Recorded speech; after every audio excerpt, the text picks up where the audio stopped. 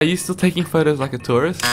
Next time when you see a cool spot, try this. Switch to panorama mode, turn your phone to horizontal, get low, and move your phone upward slowly.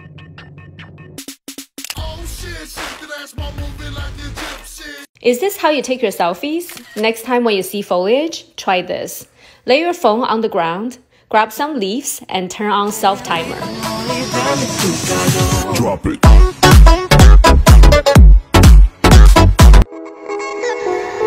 On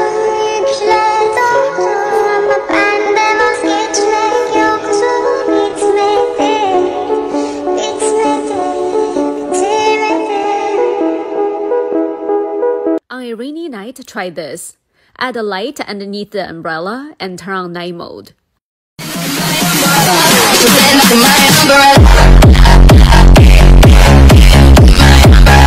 Fun photo idea with a moving object behind you using your phone. First, turn on live mode on the top right corner, stand very still, and take some photos while the car is moving. Find your photo, swipe up, and click on long exposure, and this is what it looks like.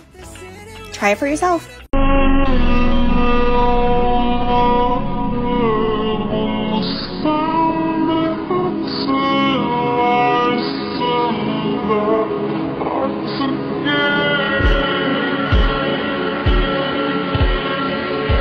Try this with a friend. Turn on live and self timer. Have the person rock their body slightly while you stay still for 3 seconds. Swipe up and select long exposure. Here's the result. Turn your blank wall into a photo studio. Not like this. Put your phone in a shoebox and turn on flashlight. Let's go.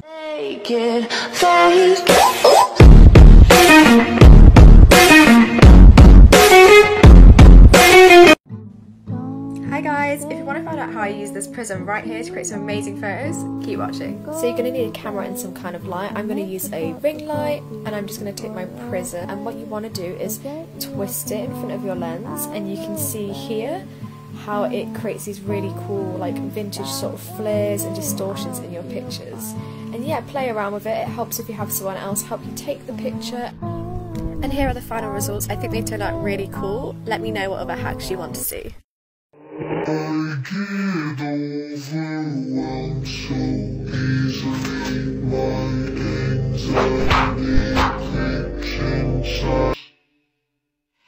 easily. My iPhone photography tricks that just make sense. To go from photo to video, just press the shutter and slide to the right. To activate burst mode and take lots of photos, just tap the circle and slide to the left. To change the area of focus, just tap the screen where you want the focus to be. To lock the focus and exposure, just tap and hold until you see AEAF lock. Tap the screen and slide up or down to adjust the exposure of your photos.